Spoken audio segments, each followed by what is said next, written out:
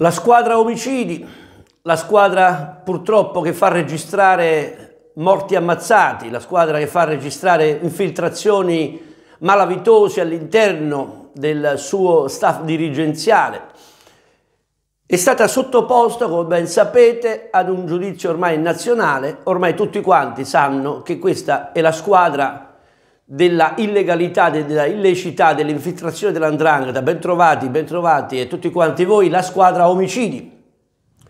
Una volta si chiamava Inter non iscrivibile, ora squadra omicidi. Questa eh, situazione che si sta perpetrando ai danni del calcio italiano, perché questi, cioè la non iscrivibile, la squadra omicidi, ha fatto entrare l'andrangheta nel calcio italiano, è sicuramente un momento di grandissimo eh, de declino del calcio italiano. Dall'altra parte una procura, come ben sapete, che dal punto di vista delle indagini eh, malavitose sta avendo, sulla malavita sta avendo successo, perché diciamo la verità, arrivare a 19 arresti, tenerli ancora... In, ora bloccati sotto indagine, sotto custodia cautelare è sicuramente un fatto molto preciso, anche se tutto questo è stato mosso dal secondo omicidio, quello del 4 settembre, e poi c'è la stampa, una stampa che fa silenzio, una stampa accomodante, una stampa eh, propagandistica rispetto a fatti non veritieri, cioè del, I non veritieri sono la parte lesa, che non è la squadra omicidi, eh, e tutto il coinvolgimento dei tesserati che non vengono sbattuti in prima pagina, quindi c'è una complicità della stampa, una totale complicità vergognosa della stampa. E così Giletti che anche lui in fase calante era riuscito per un attimo, per un mesetto, ad essere, come dire, protagonista, perché ci aveva raccontato dei fatti interni precisi, ah, ci avevano documentato come si era arrivati a quella situazione e tutto questo cioè, eh, gli aveva ridato un po' di quella credibilità che nel tempo già aveva perso. Poi a un certo punto ha voluto strafare ha spolarizzato fatti mai poi eh, fatti vedere, o l'hanno bloccato, o ci ha giocato lui sopra. Sta di fatto che le attese, le aspettative che c'erano in quella che era appunto una azione divergente, perché se la stampa nazionale non ne aveva parlato ed era stato complice di un sistema a marcia, cioè i giornali complici dell'andrangheta, perché questo dobbiamo dire, in sostanza questo è giornali complici dell'andrangheta, della malavita, per salvaguardare una squadra omicidi che è la vergogna del calcio mondiale, Giletti in un certo modo era andato un po' controcorrente, aveva dato discontinuità, aveva eh, diciamo, riaperto la sua credibilità persa già da tempo. E invece anche lui rimane ingagliato in questa vergognosa situazione perché ti va a spolerizzare qualcosa che chissà che doveva far parlare tutto il mondo e poi, e poi niente, come vi avevamo molti di noi annunciato, vi avevamo detto e io la trasmissione non l'ho vista, non la vedrò, mi sono fidato dei giudizi di molti youtuber, di alcuni articoli, di una stampa diciamo piccola ma non asservita, per cui credo che non ci resta altro che voltare pagina, nel senso che pure Giletti è andato persa la sua credibilità, io non so fino a che punto le prossime eh, le prossime trasmissioni e pseudo inchieste, perché a questo punto sono pseudo inchieste di Giletti, possono avere un seguito. Lo hanno. Bullizzato anche a lui, pure Giletti è andato, quindi perdiamo una, eh, diciamo una speranza, perché un po' di speranza eh, l'avevamo messa, come su Già Identità Bianconera, come su personaggi tipo ehm, Massimo Zampini, eh, ritengo che Già Identità Bianconera e Massimo Zampini rimangano ancora dei, dei baluardi, forse gli ultimi baluardi, per continuare a, ad avere una visibilità sulle cose che non vanno e soprattutto sulla, eh, diciamo, sull'aggressione continua alla Juventus. Detto questo, sul quale però noi ritorneremo ancora, eh, c'è la situazione di Vlaovic. Quando vi parlo io non so se è tornato no, dalla, da, dalla, dalla, dalla Serbia, non so se eh, ha fatto già le visite. C'è stato un po' di allarme perché lui è uscito all'87 minuto avendo sentito un dolorino, essendo uno che poi non è che si tira indietro, ehm, diciamo, eh, la cosa perciò preoccupa probabilmente, sto cercando di, spoleri, eh, di, di, di guardare un po' eh, se mentre vi parlo escono notizie, notizie che poi a me fino a un certo punto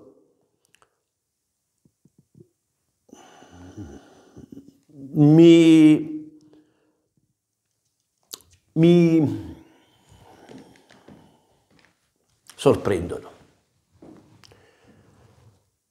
Perché dalla mattina alla sera eravamo abituati ormai a sentire, a subire insulti verso questo calciatore. È, è scarso, costa troppo, prende troppo, non mi piace. Di tutto e di più. Ad un tratto, ad un tratto, Vlaovic diventa indispensabile. Ma scusate, se dalla mattina alla sera siamo abituati a sentire vergognose situazioni su questo calciatore, ditemi voi ora, spiegatemi ora perché tanta preoccupazione e tanta ansia per la sua assenza. Ma nemmeno Tiago Motta dovrebbe avere preoccupazione per la sua assenza, perché il ruolo di centravanti o lo fa Vlaovic, o lo fa Voea, o lo fa Ildiz.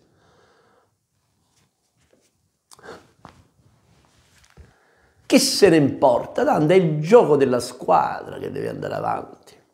Mo Vlaovic o Voea o Ildiz. Bomber la Juve non lo deve avere. Hanno rotto le scatole per settimane intere con questo zizzeché, zizzeché, che come cazzo si chiama lui. Andiamo a prendere a questo, cediamo Vlaovic, cediamo Vlaovic, cediamo Vlaovic. Eh, bene. Non c'è Vlaovic. Non c'è Vlaovic. Io non so che si è fatto, non so quando starà fuori. Ma è normale, non è che la Juventus perde il campione. Oh, perde un giocatore sostituibilissimo. Perde un giocatore sostituibile che non segna davanti al portiere, che non fa gol. Ma io nelle ultime due o tre giorni ho sentito su youtuber, ho letto un sacco di cose sulle statistiche di, di questo Vlaovic, non ha mai segnato col Milan, gioca col Milan, deve segnare, non ha mai giocato con questo, deve segnare. Eh, mancato troppi gol. La Juve non è prima in classifica per i gol che si è mancata Vlaovic, ma ne sentivo di tutti i colori, di tutti i colori, fino a quando ieri sera. È arrivata la notizia che si era fermato all'87 eh, minuto della partita. Io non entro nel merito nemmeno delle nazionali, perché questi sono argomenti che personalmente ho trattato migliaia di volte, ci arrivate tutti tardi però. Qui l'unico grande responsabile di questi infortuni, la Juve ne ha perso due ora con questa sosta. Ha perso Cabal e ha perso Vlaovic. Ma l'unico grande responsabile, il più grande, il più grande assassino calcistico che esiste, che è Infantino, è il più grande assassino del calcio. E nessuno si ribella, che noi se andiamo all'assemblea degli azionisti della Juventus vogliamo essere parte della FIFA, parte dell'UEFA, parte della FIGC, parte della Lega Calcio. Bene, allora, mo metti mano al portafoglio e vai a comprare il calciatore. Vai, cara Juventus, cara società, cari presidenti, amministratori delegati dei miei coglioni. Scusatemi, se noi dobbiamo subire Ferrero e Scanavino, due incapaci alla guida della Juventus, perché questo è il problema. E voi non ve ne siete ancora accorti, dice, ma che c'entra con l'infortunio di Vlaovic? C'entra, perché loro non si fanno mai sentire, sono inclini. A me mi, a me non mi sentirete mai parlare contro la proprietà, che commette tanti errori, eh? ma è una proprietà che colma pure gli errori degli altri, mette un miliardo in un, anno, in un anno e mezzo nella Juventus, quindi a me non mi sentirete parlare mai male della proprietà sotto questo aspetto. Vorrei sempre questa proprietà, poi critichiamo le loro scelte, perché sono criticabili le loro scelte. Sono chiaramente criticabili. Il problema non è della campagna acquisti, perché io sono convinto che Giuntoli ha fatto una grandissima campagna acquisti, forse una campagna cessioni un po', diciamo, troppo eh, facilotta, però a mio avviso c'è stato quel cambiamento che doveva essere anche in sintonia con quello che era il nuovo corso del nuovo allenatore, perché noi queste cose ce le dobbiamo dire. È chiaro, evidente, quante volte vi ho detto la Juventus non ha l'attaccante di riserva, ma io non credo che sia quello il problema. Diago Motta ci ha fatto capire che la Juventus non l'ha voluto prendere l'attaccante di riserva, perché in quel ruolo vanno altri calciatori, ci sono giocatori che non sono finalizzatori di, eh, di azioni, come lo è Vlaovic, per cui spesso e volentieri siamo abituati a, a vederlo quasi fuori ruolo. E quindi piano piano tutti quanti devono fare quel ruolo di centravanti tattico. Lo chiamavano una volta, falso nuovo, lo chiamano adesso, che non è Vlaovic. E quando gli è stato chiesto perché non avete preso un attaccante di riserva, un'alternativa è stato un fatto voluto. E ci abbiamo ragionato sopra, ha detto, eh, ha detto mm, uh, come si chiama? Ha detto Tiago Motta. Il problema è a monte, il problema è andare in assemblea degli azionisti e dire noi vogliamo essere parte integrante della FIFA. Bene, la FIFA è la responsabile numero uno di tre soste in 50 giorni. È la responsabile numero uno. È una vergogna. Come una vergogna mettere un mondiale a novembre. La FIFA per meri interessi di un lestofante. Qual è Infantino? di un fallito, non ne, non ne fa una buona e nemmeno la Coppa dei Campioni come l'ha fatta adesso. Questo è uno squallido e la Juventus è complice perché non si oppone, vuole essere parte integrante.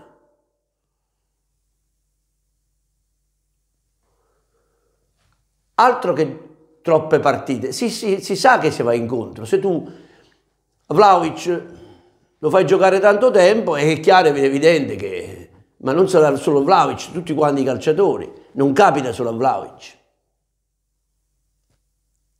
Siamo nella normalità, guardate, che un giocatore possa avere dei risentimenti muscolari.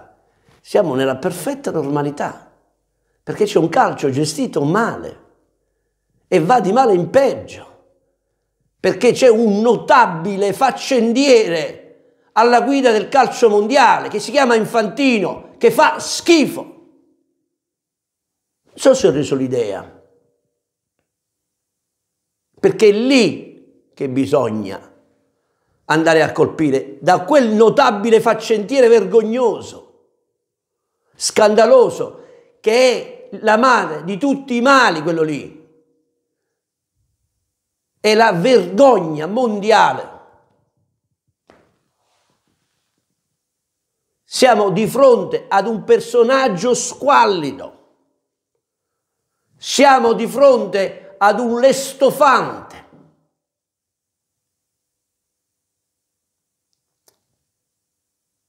E allora mo, cioè da un'ora all'altra leggo situazioni su Vlaovic vergognose, scandalose. Cioè non si può passare da un giudizio all'altro, anche youtuber, anche giornalisti, anche che si rispettino, perché ci sono poi quelli che non si rispettano, che io non li prendo proprio in considerazione, che passano dalle accuse micidiali nei confronti di Vlaovic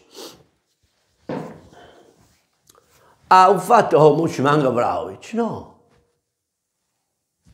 Chiunque può giocare nel ruolo di Vlaovic L'attuale allenatore della Juventus questo ruolo di centravanti lo ha derubricato.